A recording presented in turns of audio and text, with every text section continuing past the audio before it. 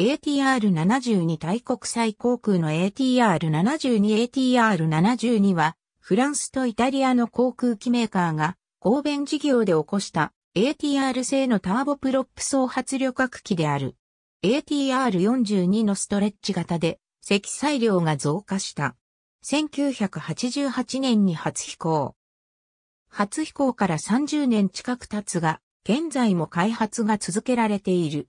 ATR72 から500の機内 ATR42 よりも、機体動部を4.5メートルと翼幅を延長し、より強力なエンジンを搭載した。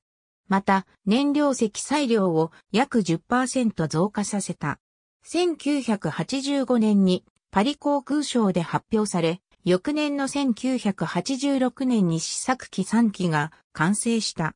それぞれ1988年10月27日、同年12月20日、1989年4月に初飛行を行った。ATR42 の拡大型であるため、基本構造は同じであり、高翼配置の高体格のない主翼を持つ。アスペクト比は11と高く、細長い主翼を持ち、二重隙間フラップを有する。T 字尾翼を持ち、主脚は胴体側仮面のバルジ内に収める。深淵の胴体形状で余圧に配慮している。1996年1月に ATR72 から500が初飛行。エンジン出力の向上などの改良が続けられている。ほか、ATR72 から500ではプロペラに6枚バネのものが採用され、騒音と振動が軽減、快適性が向上している。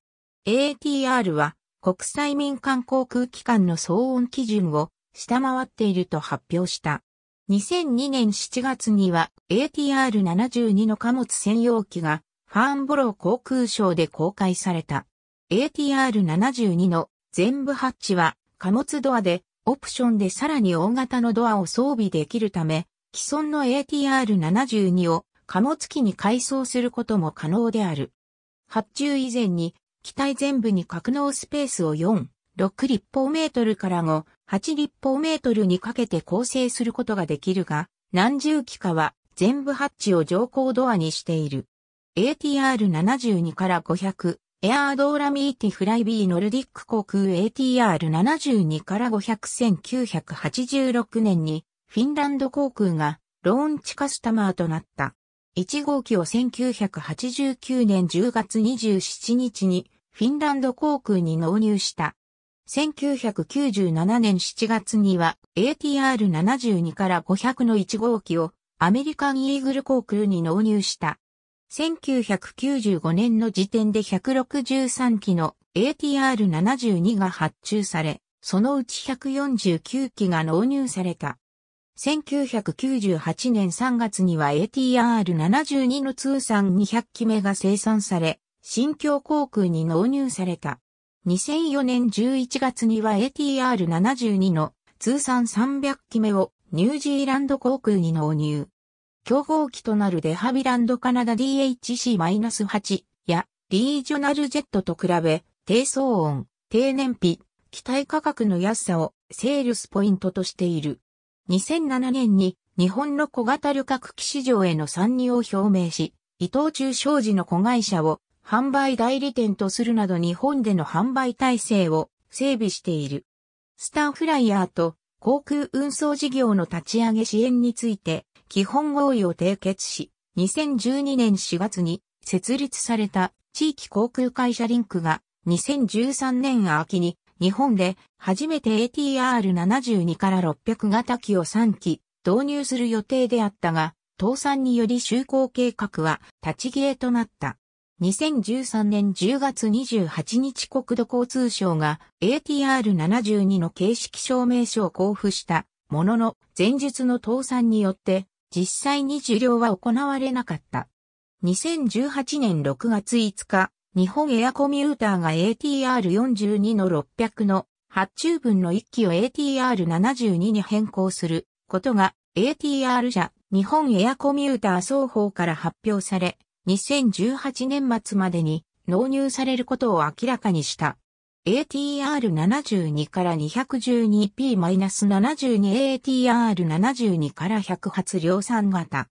プラットホイットにカナダ製 PW124 バイトエンジンを搭載。派生型として ATR72 から101と ATR72 から102がある。ATR72 から 200ATR72 から100と同じく PW124 バイトエンジンを搭載。最大離陸重量を増加させた。ATR72 から201と ATR72 から202がある。ATR72 から 210PW127 エンジンへアップグレード、高高度及び熱への耐性を向上させた。1992年に認証を得た。ATR72 から211と ATR72 から212がある。ATR72 から500搭載量を増大し、離着陸性能と操縦性を向上させた。エンジンは PW127 回を搭載。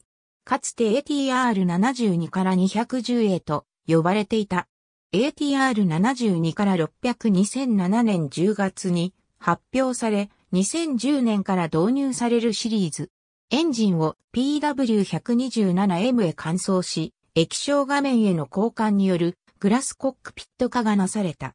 ATR72 から600回から600の貨物型であり、2017年にフェデックスエクスプレスが計50機を発注した。初号機は2020年に納入予定である。ATR72 アス W レオナルド SPA が72から600をベースに開発中の哨戒機。イタリアとトルコが採用を予定している。イタリアでの名称は P-72A。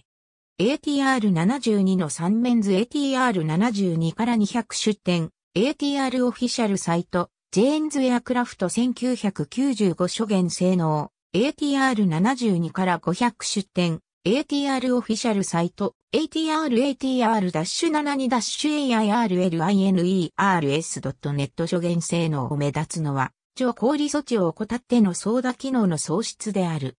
ついで、オペミス、悪天候と続く。着陸に失敗したアメリカンイーグル5401便、ありがとうございます。